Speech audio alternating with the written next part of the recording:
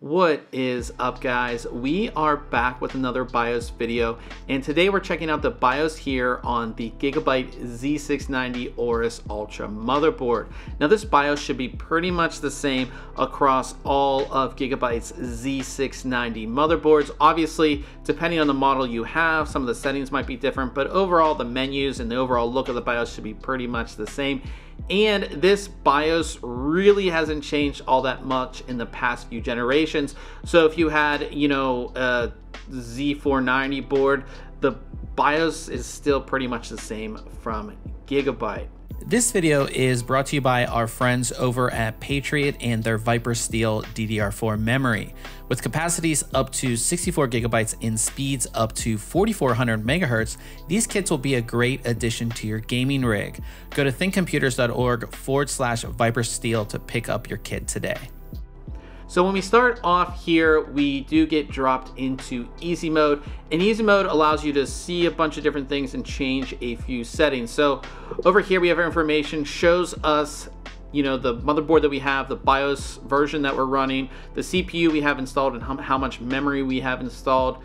And then moving down, we do have information on our memory. We can see we have uh, two 16 gig DIMMs of crucial DDR5 memory running at 4800 megahertz. And this is where you can enable or disable your XMP profile. It's super simple. You just click, it's disabled, click, it's enabled. That easy, very easy to do. Down here, we have boot sequence. Now we only have one SATA drive installed on our system, but if we had multiple drives, M.2, whatever, we could, you know, rearrange our boot sequence. We could drag or drop our boot sequence down here, very easy to do. Moving up here, we have some information. So our CPU frequency, memory frequency, CPU temperature, system temperature, CPU voltage, PCH temperature and VRM temperature all, you know, all in real time. And then we have information on kind of what we have plugged into the motherboard. So SATA drives, we just have one SATA drive uh, right here. And PCIe, we just have our one graphics card, and M.2, we don't have we have no M.2 drives installed on this board. Um, just gives you a live view, so maybe you're having a problem with the drive or something's not showing up. You can see if the BIOS is actually detecting it, uh, which is a good thing to see. Here we have Smart Fan 6, which will show you in real time how fast all of your fans are moving. Now we only have one fan connected um, to the motherboard here. But if you click in, what's kind of nice is that you have this really nice, you know, overlay that allows you to really fine tune all of the fan headers on the board. You can do this before you install Windows um, to, you know, set your fan curves, all that kind of stuff that you can do. You can do it right in here and it kind of gives you a more you know better than text i would say. Uh, visualization vis visualization i can't talk today. Uh, but it allows you to kind of see everything and see your fan curve and do all that uh, really easily here. So we can hit escape to get out of there. And then we have some tabs over here. You can change your language. You can get some help. Advanced mode smart fan 6 which we were just in. Load optimized defaults. Q Flash, which allows you to easily flash your BIOS. So you download a BIOS image off of the you know off the internet and then you put it on a flash drive and this will allow you to easily flash your BIOS save and exit and then our favorites menu. So let's go into advanced mode. Again you can click here or just hit F2 on your keyboard. And you should be dropped I think for the most part into the tweaker menu but we'll go over to favorites really quick. And what's really cool about favorites is any menu item or any setting in the BIOS you can add to your favorites menu. So if there's something that you're changing all of the time, you can go ahead and you know put it in this favorites menu so you don't have to go to different pages to do different settings. It's all right here very easily on one page, which I always like to see. Now in the tweaker tab, this is gonna be everything to fine tune your system to do overclocking, all that kind of stuff. Um, under CPU upgrade, we have gaming profile and max performance profile. These are default profiles that Gigabyte has set up um, that you can enable, you know, but most, like I said, by default, it is set to default. CPU base clock, enhanced multi-core performance, again, set to auto. Um, you can go to performance CPU clock ratio. Um, and again, you can change that efficiency clock ratio. And this is for all of the cores at once. We'll go to by core in a second. But if you wanted to do like a quick overclock, um, you know, performance CPU clock ratio, you could kind of set that. And most people, if they're doing a quick overclock, they're just overclocking the performance cores, not the efficiency cores. Um, but you can do all of them at once in the, oops, in let me go back here in these two settings so performance cpu clock ratio and efficient cpu clock ratio um, you can change all of those at once with these two settings ring ratio igp ratio and then going into advanced CPU settings. So in advanced CPU settings, these are you know a lot of the settings that have to do with your CPU, uh, over temperature protection, hyper threading, speed shift, thermal monitor, all that kind of stuff.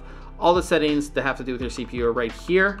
Uh, AVX settings, and then we go to active turbo ratios. So this is where you can change the ratios per core. So by default, it's set to auto we would change that to manual and then you can set your per core um, ratios for each core. So each of the performance cores and each of the efficiency cores. Now, if you're this, this looks kind of daunting to you, you can also do this with the Intel, um, what is it, the Intel Extreme tool um, that you can download and you can do it on Windows if this looks a little daunting to you. Um, but like I said, it's all right here. You can go ahead and you know change all of those if you want.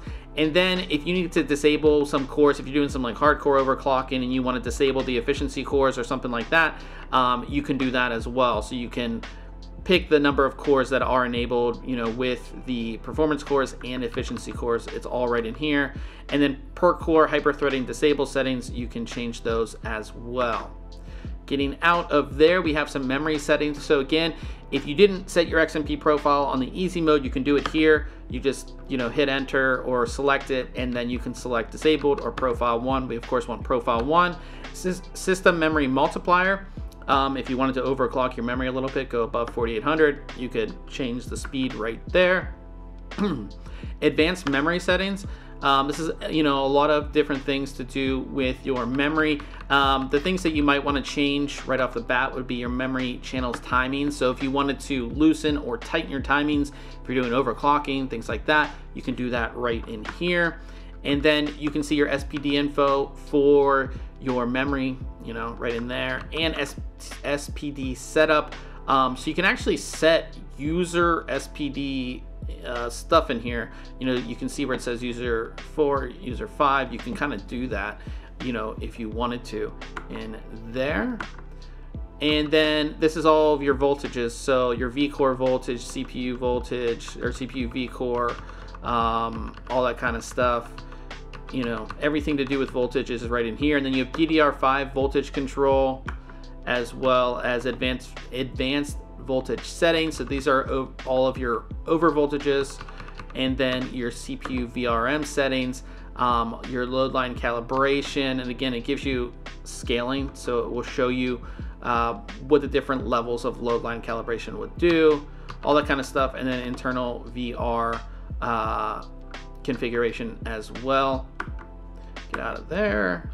And that is it for the tweaker menu. So basically, in the tweaker menu, we have CPU stuff, so you can enable or disable different CPU settings. You can change your performance and efficiency core ratios all at once or by core. All of your DDR5 settings as well, so enabling XMP profile, setting uh, your different timings and all of that, and then all of your voltages stuff, everything to do with voltages on this board is in here as well. So you have all that stuff in the tweaker menu. Moving over to settings, um, platform power. Um, this is just, you know, wake by alarm, ERP, you know, anything to do with, you know, power management is right here. IO ports, again, you know, like if you want to disable the internal graphics, you can do that. Uh, initial display output, you, you, know, you can set to which slot or the internal graphics. If by some reason you don't have a graphics card, uh, you can change that as well. Um, audio controller, you know, here is App Center download and install configuration. So by default, when you install Windows, it's gonna, you know, as soon as Windows boots up for the first time, it's gonna ask you to download and install uh, Gigabytes App Center. And if you don't install it the first time, when you restart, it's gonna ask you again. Um, So unless you install it, it's to keep on asking you unless you change this setting. Now, I personally would leave it enabled because the App Center allows you to download all of your drivers at once, as well as all of your, you know, motherboard um, companion software. I like that. You know, some people are freaked out by having something automatically install and download. But for me, for most users, I think you should just leave this enabled um, and just makes things so much easier than downloading like seven different files for all your drivers and all that. You could do it all through the App Center. Um, so it's nice that it is it is enabled by default. USB configuration, just different settings for USB, network stack configuration, NVMe configuration. We don't have an NVMe drive installed, but if we did, the configuration would be right here. SATA configuration, all the SATA ports we can, you know, control um, all that kind of stuff and disable them and do everything you want with SATA right here. VMD uh, controller, and then the Ethernet controller, which we don't have uh, connected right now. And that is it for your, uh, no, we have miscellaneous.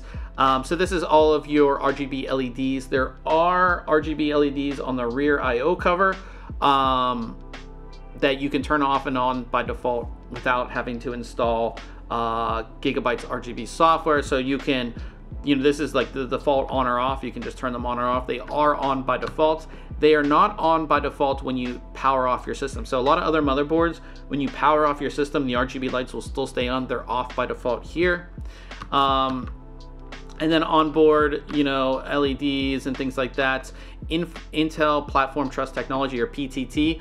This is enabled by default on this BIOS, so you don't have to change anything if you want to install Windows 11. We actually made a whole video on older BIOSes on how to enable Intel PTT to install Windows 11. You don't have to do that. It is enabled by default here.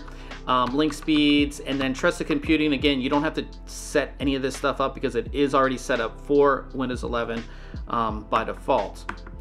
And then uh, optional search hotkey, um, Alt F if you want to search through the BIOS, and then PC health status um, just gives you you know readouts of all of your voltages um, in real time.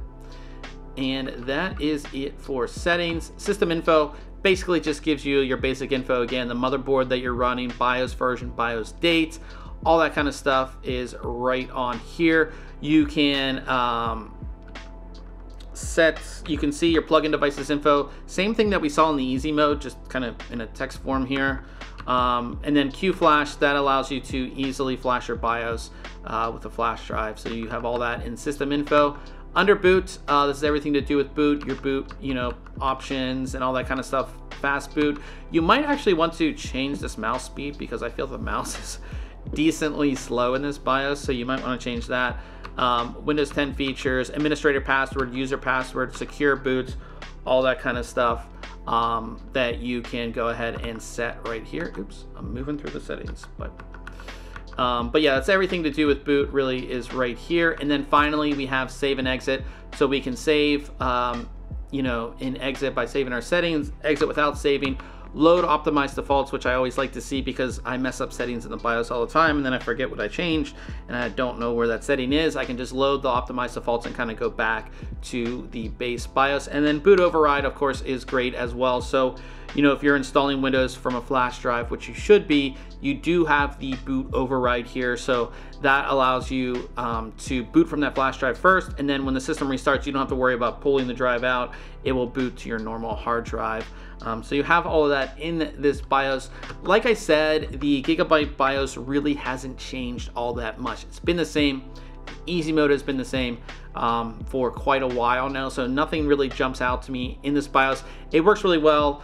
Everything is pretty much easy to find. Um, you shouldn't have, you know, run into issues trying to find a setting or anything like that. Now, if you have any questions about this BIOS, go ahead and leave it in the comment section below. And if you enjoyed this video, I would appreciate it if you hit the thumbs up.